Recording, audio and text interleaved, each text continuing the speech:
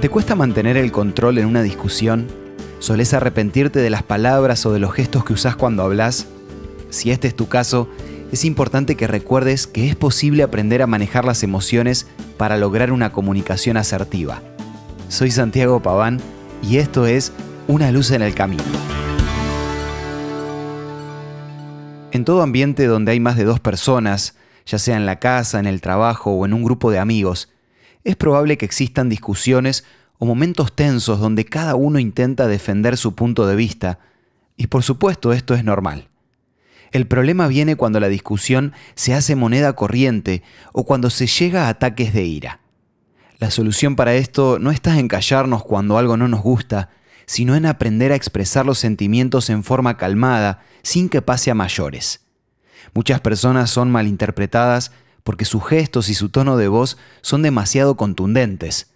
La comunicación no verbal es muchas veces la causa de que el mensaje no llegue correctamente.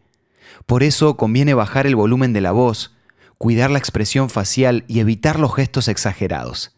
Además, es mejor no acumular rabia, ni darse manija, ni hacerse la película, porque estos sentimientos reprimidos a la larga pueden surgir sin ningún tipo de control.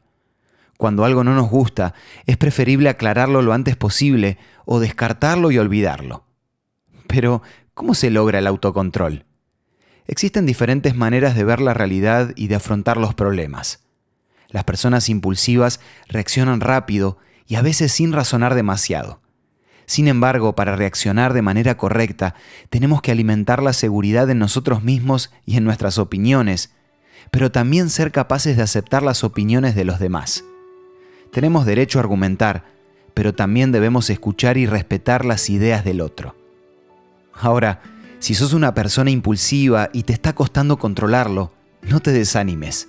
La Biblia está llena de personas que con la ayuda de Dios lograron transformar su carácter.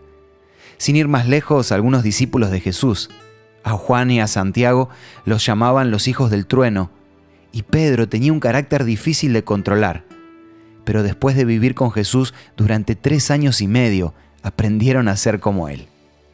No dejemos que la ira nos envenene la sangre o arruine nuestras relaciones interpersonales.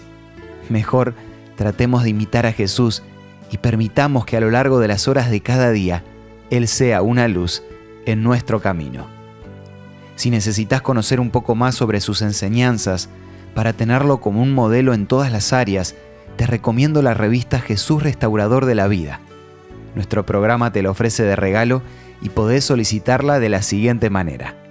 Envíanos un WhatsApp al 11 62 26 12 29 y para disfrutar de más contenidos, búscanos en nuestras redes sociales como arroba ulc.digital. Esto fue Una luz en el camino. Te esperamos en nuestro próximo encuentro.